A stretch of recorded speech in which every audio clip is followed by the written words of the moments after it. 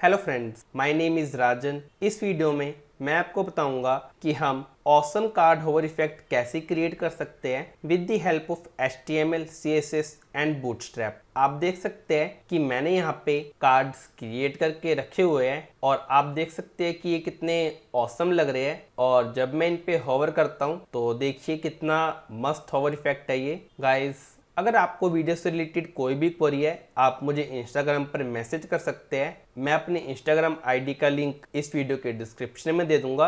आप वहाँ जाके मुझे फॉलो कर सकते हैं। तो चलिए, हम इसे क्रिएट करना स्टार्ट करते हैं। तो सबसे पहले मैं आपको इसका फोल्डर स्ट्रक्चर दिखा देता हूँ। तो आप देख सकते हैं कि मैंने यहाँ पे एक फोल्डर क्रिएट किया हुआ है। न्यू कार्ड हॉवर इफ़ेक्ट नाम से और इसके अंदर इमेजेस नाम का फोल्डर है और एक CSS नाम का फोल्डर है। CSS के अंदर हमारी CSS की फ़ाइल है और इमेजेस के अंदर छः इमेजेस है। और यहाँ पे एक इंडेक्स फ़ाइल है।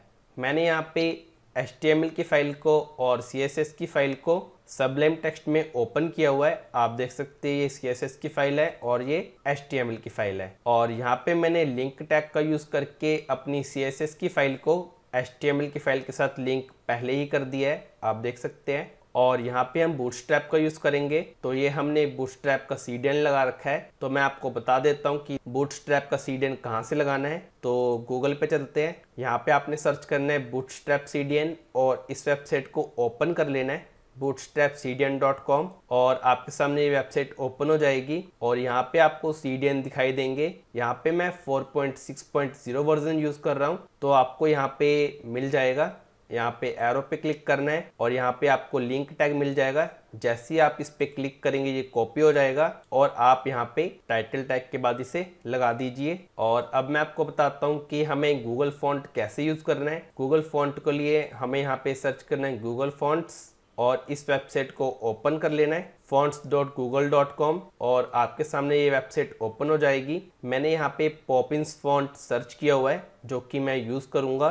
और यहाँ पे इसे क्लिक करूँगा और जो भी स्टाइल आपने यहाँ पे यूज़ करना है, उस पर यहाँ पे जस्ट आपने क्लिक करना है, जैसे कि मुझे यहाँ पे रेगुलर यूज़ करना है और लाइट 300 और यहाँ पे मीडियम 500 जो भी आपने यूज़ करना है, यहाँ पे क्लिक कर देना है सिलेक्ट दिस स्टाइल पे और यहाँ से लिंक टैग को कॉपी कर लेना है और यहाँ पे लगा देना है, जैसे कि मैंने यहाँ पे लगा रखा है। आप देख सकते हैं। और इस सी एस एस प्रॉपर्टी को यूज़ करना है, जहाँ भी आपने इस फॉन्ट का यूज़ करना है। तो इसे मैं कॉपी करता हूँ और यहाँ पे एक अलग से रख लेता हूँ। तो गाइस आई होप कि आपको पता चल गया होगा कि बूटस्ट्रैप का सीडियन कैसे लगाना है और गूगल फॉन्ट का सीडियन कैसे लगाना है। तो चलिए, अब हम यहाँ पे कोडिंग स्टार्ट करते हैं। तो सबसे पहले मैं यहाँ पे सेक्शन टैग का यूज़ करूँगा। इसे मैं क्लास दूँगा पी वाई हाइफन फाइव ये हमारी बोटस्ट्रैप की क्लास है, जिससे कि टॉप बॉटम से पैडिंग आ जाएगी। और यहाँ पे डिव क्रिएट करूँगा क्लास दे दूँगा कंटेनर कंटेनर के अंदर एक डिव क्रिएट करूँगा, जिसको मैं क्लास दे दूँगा रो रो के अंदर मैं छः कॉलम क्रिएट करूँगा। अभी के लिए मैं एक कॉलम बनाता हूँ सबसे पहले तो इसको मैं क्लास दे देता हूँ। Col M D four, col M D four के अंदर डिव क्रिएट करूँगा क्लास दूँगा inner box underscore box inner box के अंदर मैं एक डिव क्रिएट करूँगा, जिसको मैं क्लास दूँगा I M G underscore box जिसके अंदर मैं इमेज टैग रखूँगा।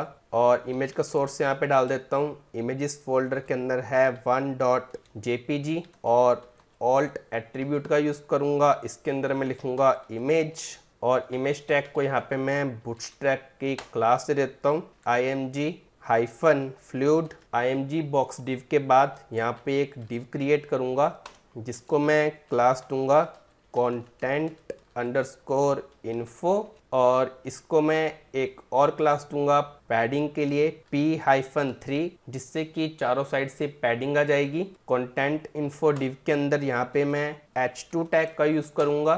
H2 टैग के बाद यहाँ पे मैं H3 टैग का यूज़ करूँगा और H3 के बाद यहाँ पे मैं पी टैग का यूज़ करूँगा। और तीनों को कंटेंट मैं यहाँ से कॉपी कर लेता हूँ। कॉपी यहाँ पे जाके मैं पेस्ट करूँगा। तो सबसे पहले मैं इसको यहाँ से कट करता हूँ। पी टैग में डाल देता हूँ। इसको कट करता हूँ। एच थ्री में डाल देता हूँ। और इसको मैं कट करता हूँ। एच टू में डाल दूँगा। और इसको मैं सही कर देता हूँ। तो आप देख सकते हैं, यहाँ पे कंटेंट डल चुका है। इसको सेव करता हूँ ब्राउज़र में ओपन कर लेता हूँ। तो आप देख सकते हैं, यहाँ पे इमेज आ चुकी है और यहाँ पे कंटेंट भी आ चुका है। तो ऐसे ही अब मैं पाँच कॉलम और क्रिएट कर लेता हूँ। तो आप देख सकते हैं कॉलम यहाँ पे स्टार्ट है और यहाँ पे क्लोज है। तो इसे मैं कॉपी करूँगा। एक, दो, तीन, चार, पाँच। और इमेजेस यहाँ पे चेंज कर देता हूँ। छ, पाँच, चार, तीन, दो। Save, refresh.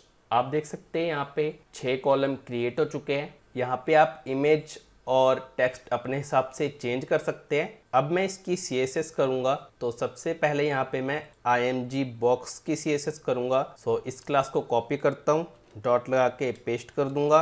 आई एम जी बॉक्स को मैं बॉक्स शेडो दूँगा। Zero twelve pixel, sixty pixel R G B A zero comma zero comma zero comma 0.12 cursor में से दूँगा पॉइंटर आईएमजी बॉक्स को सीएसएस देने के बाद यहाँ पे मैं कंटेंट इन्फो को सीएसएस करूँगा। क्लास कॉपी करता हूँ। डॉट लगा के पेस्ट कंटेंट इन्फो को मैं पोजीशन दूँगा। रिलेटिव बॉटम में इसका कर दूँगा ज़ीरो गाइस अगर आपको पोजीशनिंग के बारे में डीपली अच्छे से समझना है तो इसके ऊपर मैंने एक फर्दर वीडियो क्रिएट किया हुआ है, जिसमें आप पोजीशन के बारे में अच्छे से समझ सकते हैं। उस वीडियो में मैंने पूरे एग्जाम्पल्स के साथ समझाया हुआ है।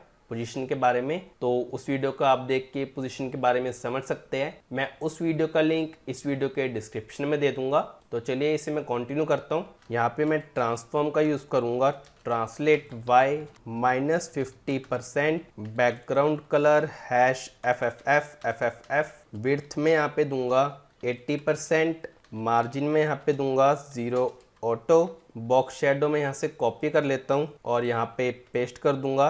बॉक्स शेडो देने के बाद यहाँ पे मैं टेक्स्ट लाइन सेंटर दे दूँगा और फॉन्ट फैमिली में यहाँ से कॉपी करता हूँ। यहाँ पे पेस्ट कर दूँगा और ट्रांजिशन का यहाँ पे मैं यूज़ करूँगा 0.8 एस ऑल सेव ब्राउज़र में जाके रिफ्रेश तो आप देख सकते हैं कि यहाँ पे सीएसएस हमारी आ चुकी है। अब मैं यहाँ पे H2 की सी एस करूँगा तो कंटेंट इन्फो क्लास को कॉपी करता हूँ। यहाँ पे पेस्ट करूँगा, जो कि पेरेंट क्लास है। इसके अंदर जो H2 है, उसको मैं फॉन्ट साइज़ दूँगा 22 पिक्सल मार्जिन में कर दूँगा ज़ीरो फॉन्ट वेट में यूज़ करूँगा 500 H2 को CSS देने के बाद यहाँ पे मैं H3 की CSS करूँगा। सो इसे मैं कॉपी करता हूँ पेस्ट करता हूँ। H2 की जगह H3 H3 को मैं फॉन्ट साइज़ दूँगा 20 पिक्सल फॉन्ट वेट में यहाँ पे दूँगा 400 कलर में यहाँ पे दूँगा हैश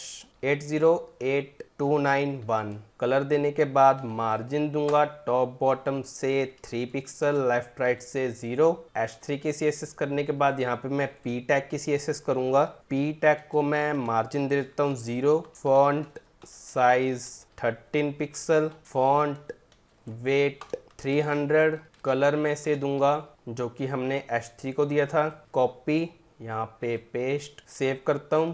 ब्राउज़र में जाके रिफ्रेश तो आप देख सकते हैं कि H2, H3 और P टैग की CSS भी हो चुकी है। अब हम इस पे होवर इफ़ेक्ट ऐड करेंगे। तो यहाँ पे मैं इनर बॉक्स पे लगाऊँगा होवर इफ़ेक्ट तो इसको मैं कॉपी करता हूँ। डॉट लगा के पेस्ट करूँगा।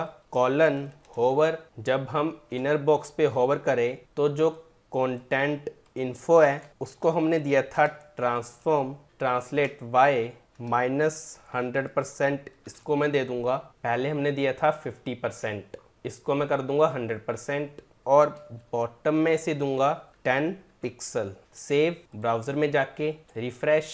तो आप देख सकते हैं यहाँ पे कि हमारा होवर इफ़ेक्ट कितना अच्छे से वर्क कर रहा है। सो so गाइस इस वीडियो में इतना ही। Thanks for watching our video. Please like my video and subscribe to my channel. Bye bye. Take care. मिलते हैं अगली वीडियो में